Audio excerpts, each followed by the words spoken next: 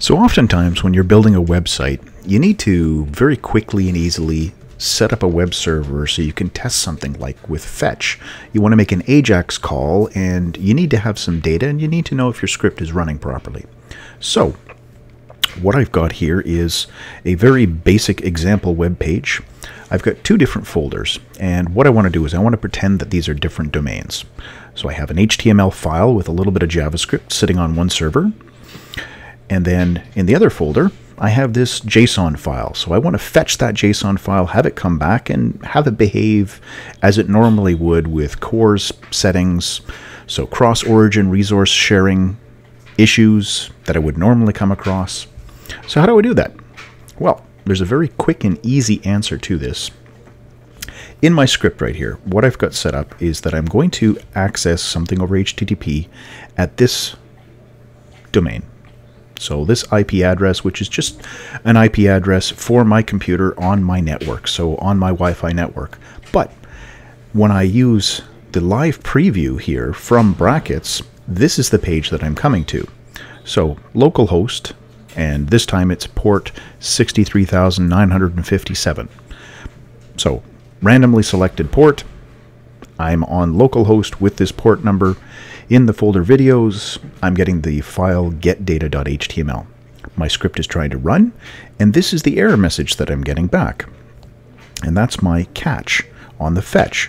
So I'm trying to fetch this address. I'm trying to get this JSON file, but it's failing. So it's writing out the message, failed to fetch. If I come over here, this is the URL that I'm trying to get. Refresh, Nothing. It's not working right now. So I want to set up a server pointed at this folder right here, this folder called sum.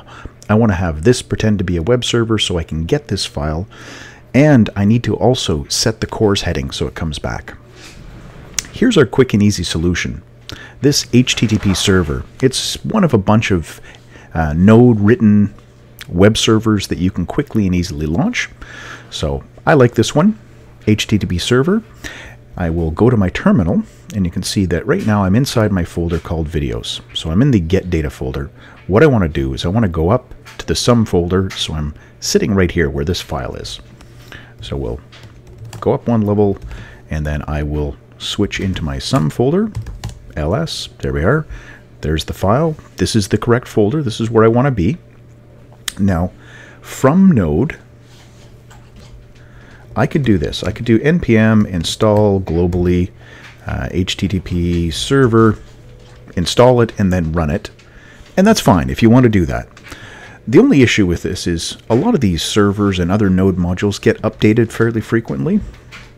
I don't want to have to do that, and I don't want to have to install it either. So I'm just going to use npx, which is a quick little command line tool that you get when you install npm. It allows you to download into memory this package. So it's going to download and tell Node, hey, I want you to run this little package. So this Node module is going to run without me having to actually install it inside my folder. So npx HTTP server. And for this one, because I want it to act like um, a normal web server does with CORS issues, I'm going to say this. This is going to send the access control allow origin header for me to my web page so that my script will work. So enter. This downloads it, starts it running, and here's the address. So I can do this, and it's going through localhost, or this address, which means if I've got my mobile device, so my phone or something else, which is connected to the same network as my laptop, if they're on the same Wi-Fi, I can use this address from my phone or my tablet to access the same web page. So that's what I'm doing here. Now that I've got this running, there it is. There's the page coming up. And it's just because I did this. npx http server dash dash CORS. So now the HTTP server is starting. It started.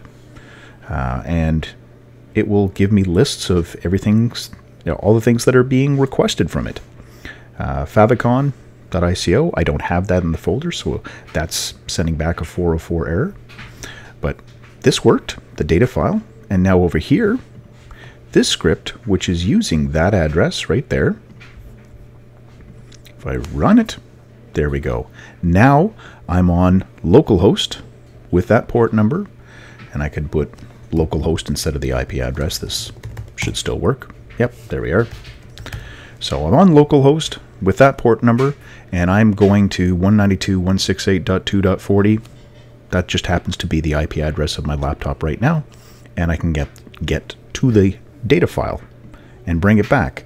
And if we're checking, if I inspect this page, and I come over to the network tab, I refresh this, here's the request for the data file.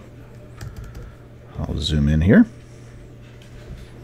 And we can see the access control allow header, the origin header was being set. Access control allow origin with the asterisk. That's what's being set. If I had started this without that header, so without the CORS option set, so the file's available now. If I come back here, I refresh this.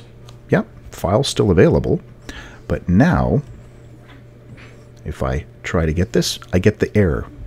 And it is simply because that header was not being set. So in the console, I get the error message about access control allow origin failing. So make sure when you're starting it up with HTTP server, make sure you add this option onto the end so that your fetch calls work.